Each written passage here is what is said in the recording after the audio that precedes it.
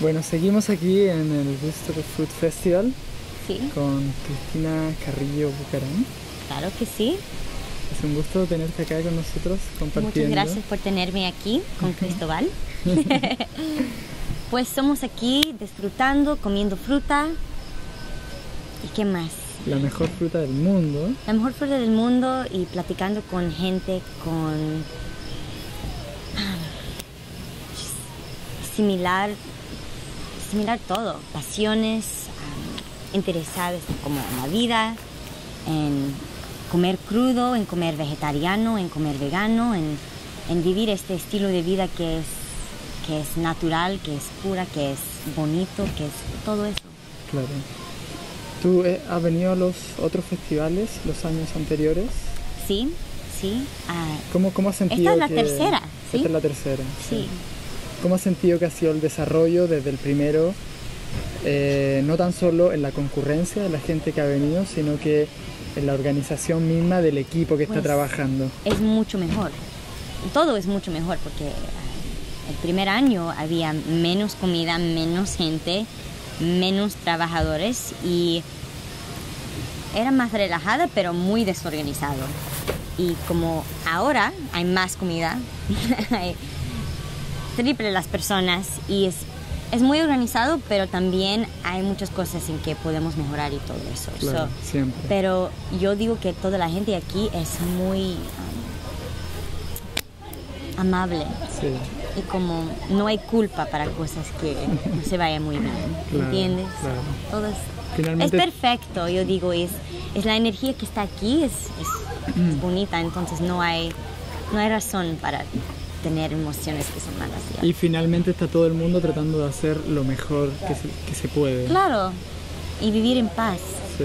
por eso es Bueno, tú empezaste con Raw Food hace 7 años. aproximadamente. ocho, más que Ocho ocho años, cuando yo tenía 18 años. 18 años. empecé. Wow. Yo tenía hiperglicemia y pues tenía problemas con am, diabetes y yo tenía que ganar peso y no sentía muy bien. Siempre me dolaba la cabeza y, y no sentía Tenías bien. como un comienzo de diabetes, ¿no?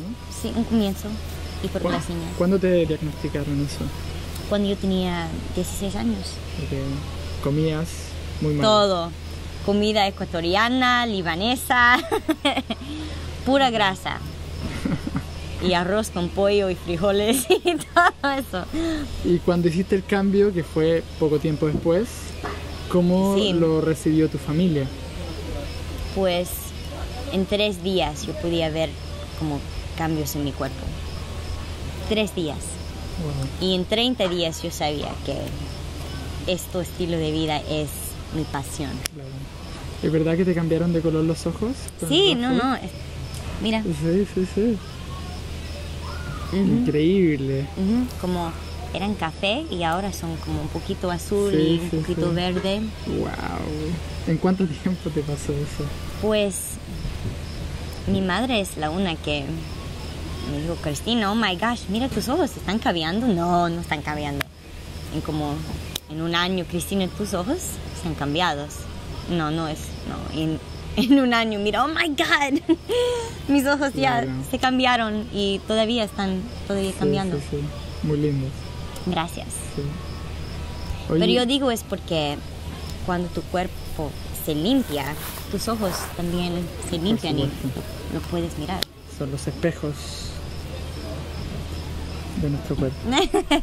sí, es, es sí. Oye, y cuéntame, me, me parece muy interesante lo que tú estás haciendo en Houston, que comenzaste hace mucho tiempo también, Sí, con una cooperativa. yo tengo una cooperativa que se llama Roughly Organic y es una manera de comprar frutas y vegetales que son orgánicos y de bajo precio y en abundancia.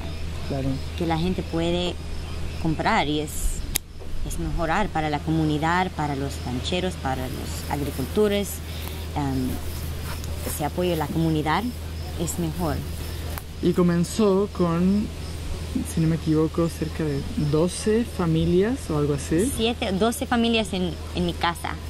y, y que ahora son alrededor de 3.000 Ah, 15 mil ya.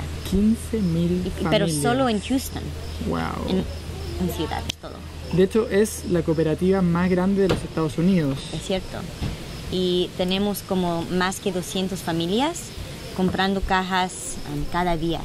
Wow, eso es muy importante. Es muy importante y es, es increíble. Y con la experiencia que has tenido eh, fundando y creando esta cooperativa, ¿qué consejos le darías eh, a un grupo de personas de que está recién como uniéndose y comenzando a formar una cooperativa? ¿Cuáles crees tú que son como los, tal vez los tres tips más importantes, errores que tú ya cometiste y que tal vez la gente Pues podría... quiero decir que no es importante, no tiene que, s- que ser una cooperativa muy grande. Una cooperativa puede ser con cinco personas, con tus amigos. Y es lo que es más importante es compartir la comida para guardar dinero, para tener más abundancia, para Comer sano. ya es, es comer sano, pero es, es una cooperativa es la comunidad Claro. pero es la comunidad con la pasión de comer comida sana. So, quieres, si quieres empezar una cooperativa, número uno, um, preguntar a tus amigos si ellos quieren compartir com- comida contigo. Eso es número uno. Número dos, tienes que buscar la comida, ¿no?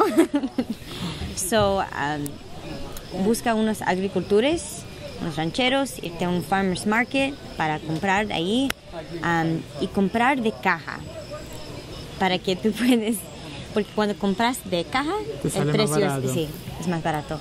Y número tres, tienes que hacerte o hacerte un sistema de, ok, ¿qué día vamos a, a comprar las cajas? ¿Qué día vamos a organizar las cajas? ¿Cómo vamos a organizar todo? Am, ¿Cuántas familias vamos a tener? ¿Cuánto vamos a pagar para la comida? Y eh, tienes que just pensar en todo eso, pero cuando lo compras y tienes las personas, eso es lo más importante, porque Claro. puedes hablar con ellos. Lo que Y trabaja creo que ti. finalmente lo más importante de una cooperativa no es únicamente que te va a salir más barato, sino que te tienes que involucrar como ser humano en el trabajo que esta Sí. cooperativa está haciendo. Y de hecho ustedes trabajan solamente con voluntarios. A- absolutamente. Para mí es la comunidad. Porque puedo ir al- a la tienda para comprar fruta, eso. Pero para mí es que yo quiero una comunidad Claro. para compartir esta pasión conmigo. Y de hecho cuando está la comunidad, y eso es algo que está pasando en Sudamérica con cooperativas de protectores de semillas, por ejemplo, cuando hay una comunidad involucrada en lo que se está haciendo, ustedes no necesitan ninguna certificación de nadie de que esto es orgánico o no, porque en el fondo tú mismo lo estás produciendo para ti. Sí. Pues fruta crece en todos los lados en Sudamérica. y en México. en- es increíble. Cuando yo empecé a comer crudo, mi papi me dijo, ay, ¿tú quieres comer mangos? Porque mangos es para la gente pobre, mijita. Claro. Pero, ¿por qué, papi? Porque mangos son por todos los lados. Son es- gratis. es- es- son gratis y es rico y... Ay, pero toda la gente rica quiere comer carne porque Claro. es más cara y... y- Sí. Y es lo que estaba pasando en África, por ejemplo, que hablaba con Tumi, que me decía que es muy común en África que la gente rica es la que come más carne y la gente pobre es la que come más vegetales y frutas porque están ahí. En es cierto, manera, pero la gente que come más fruta es la gente más saludable. Por supuesto. Por fin. Eso lo sabemos nosotros. Y, quere- y queremos compartirlo. No, es, es cierto, pero ahora mi, mi papi, él come mucha fruta y está más feliz, Mucho más feliz. Hoy está comenzando a llover. bueno, te agradezco mucho por, Muchas gracias por tenerme por aquí. estar acá compartiendo. ¿Cuál es tu sitio web para que la gente te pueda... fullyraw.com y ahora estoy empezando a hacer videos en español si ellos me Ok. quieren buscar también. Um, y rawfullyorganic.com si quieres um, saber más de mi cooperativa en Houston. Cristina, muchas gracias. Ah, muchas gracias por tenerme aquí. Adiós. Chao.